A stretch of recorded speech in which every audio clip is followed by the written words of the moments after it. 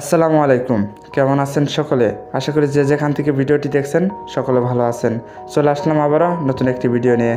আজকের ভিডিওতে আমি আসছি মানিক, আর আপনারা দেখছেন এম কে এডিট জোন আজকে আমি আপনাদের সাথে লাইডম প্রিমিয়াম পিসেট শেয়ার করব।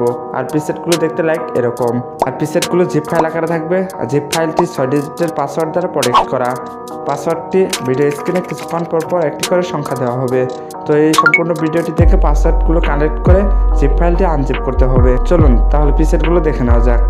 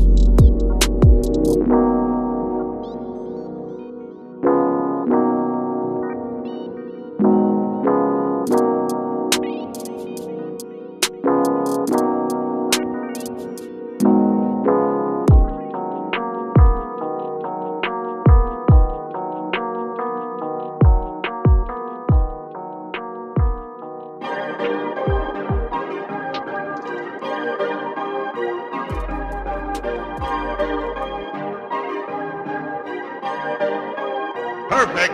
Perfect. Perfect.